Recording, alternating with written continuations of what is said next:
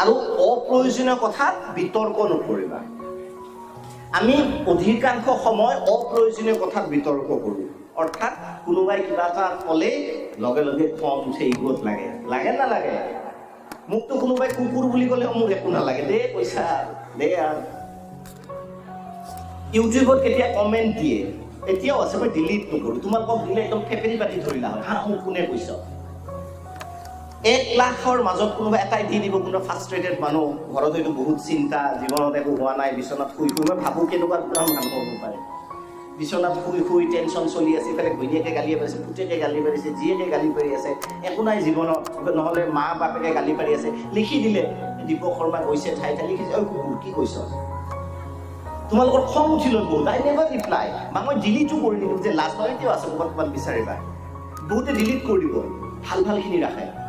Sir আপোনাক বহুত ভাল লাগে অ'কে থেংক ইউ ঐ কুকুৰ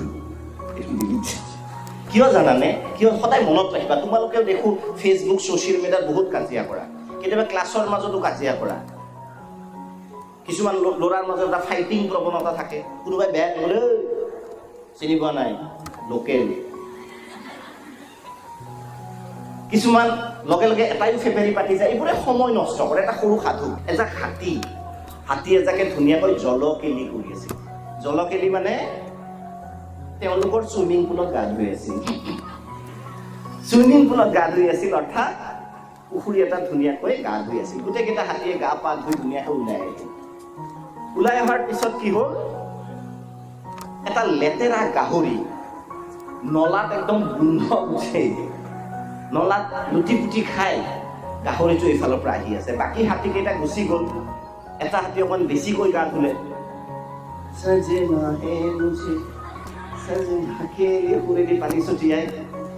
গ'ল অকণ পিছুৱাই থাকিলে। হাতীটো যেতিয়া গ'ল সেইফালৰ পৰা গাহৰিটো আহিল। গাহৰিটো বিৰাট অহংকাৰী।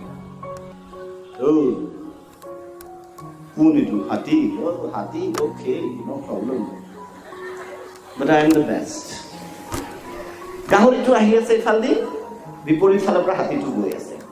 গাহৰিটোক দেখি হাতীয়ে পথ সলনি কৰিলে। অকণমান দূৰৰ পৰা গুচি গ'ল। গাহৰি থিয় হ'ল।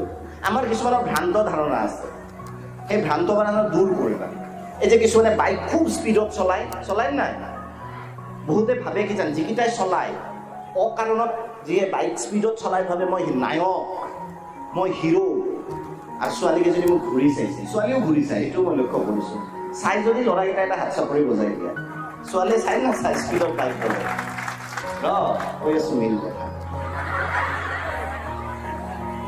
আচলতে তেওঁলোকে আকৰ্ষিত হৈ ঘূৰি নাচায়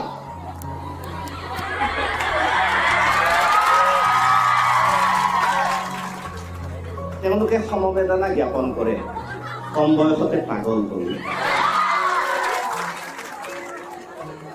বাইক স্পীডত চলাই কোনেও কাকো পৃথিৱীত ইমপ্ৰেছ কৰিব নোৱাৰে ভাই এই কথাটো আজি মনত ৰাখিবা জীৱনটো শেষ কৰি আছে। These are the practical problems of your life মই তোমালোকক তথ্যগধুৰ বহুত কথা কৈ যাব পাৰোঁ which are not related to your life কিন্তু these are the practical problem C bike চলাই এনেকুৱা লাগিছে পৃথিৱীত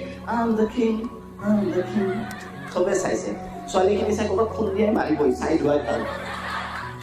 অৰ্থাৎ সেই গাহৰিটোৱে ভাবিলে হাতীয়ে চাইড দিছে I am the best I am the boss লগে লগে নিউজ চেনেলক মাতিলে সংবাদ মেলৰ আয়োজন। বনৰ ৰজা কোন? গাহৰি। কিয়? হাতীয়ে চাইড দিছে। সেইটো কোৱাৰ পিছত হাতীটো যেতিয়া মূল হাতীৰ জাকৰ লগত গ'ল বাকী হাতীকেইটাই সুধিলে কি ৰে দোষ? ইজ্জত ডুবাই দিলি? ক'লে কিয়? চাইড দি দিলি গাহৰিক দেখি ভয় হাতীয়ে বোলে নহয়। নলাৰ পাইছে ইমান বেয়া গোন্ধ সেই গোন্ধ দেখি মই চাইড হৈ গৈছো। অৰ্থাৎ কোনোবাই যদি ফেপেৰি পাতিও আহে ৰিপ্লাই নকৰিবা। তেওঁ আত্মসন্তুষ্টিত থাকিব মোৰ কথাৰ ৰিপ্লাই দিব পৰা নাই। ভাবিবা গোন্ধাইছে আঁতৰি আহিছো। Argue on the silly things, not in the social media itself. জীৱনতো নকৰিবাই ছ'চিয়েল মিডিয়াটো কেতিয়াও আৰ্গিউ নকৰিবা। কথাটো বুজি পালা? কাৰোবাৰ পৰা আঁতৰি অহাৰ অৰ্থ নহয় যে আমি আত্মসমৰ্পণ কৰিছো। অৰ্থ এনেকুৱাও হয় আমি গোন্ধ পাইছো চাই লৈ আহিছো